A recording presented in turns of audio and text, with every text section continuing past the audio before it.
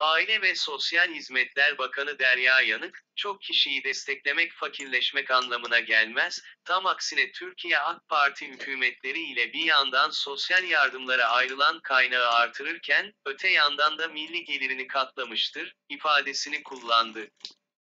Yanık, Twitter hesabından yaptığı açıklamada, CHP sözcüsü Faik Öztrak'ın, Aile ve Sosyal Hizmetler Bakanlığı'nın verdiği elektrik tüketim desteğine ilişkin eleştirilerine yanıt verdi.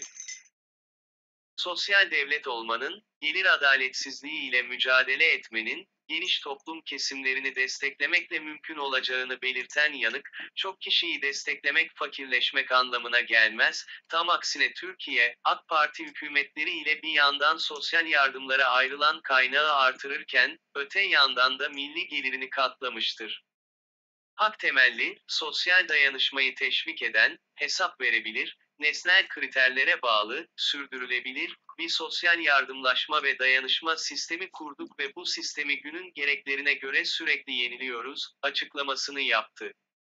Yanık, bakanlığın internet sitesinde sosyal yardım kalemlerinin tek tek görülebileceğini ve sosyal yardım vakıflarından nasıl yararlanılacağına dair bilgi alınabileceğini ifade ederek, şunları kaydetti.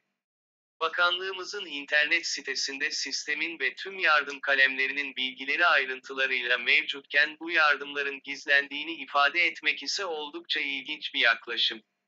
İhtiyaç sahiplerine destek olmak size zul geliyor, farkındayım ama kusura bakmayın, biz sosyal devlet olmanın gereğini yerine getirmeye devam edeceğiz. İktidarımız süresince ihtiyaç sahibi vatandaşlarımızın yanında olacağız. Sabah, destek verin, deyip, akşam bahsettiğiniz desteğin verildiğini öğrenince çark ederek, neden destekliyorsunuz, demekse sizin için bile düşük bir seviye. Üzgünüm. Günün en önemli manşetleri için tıklayın.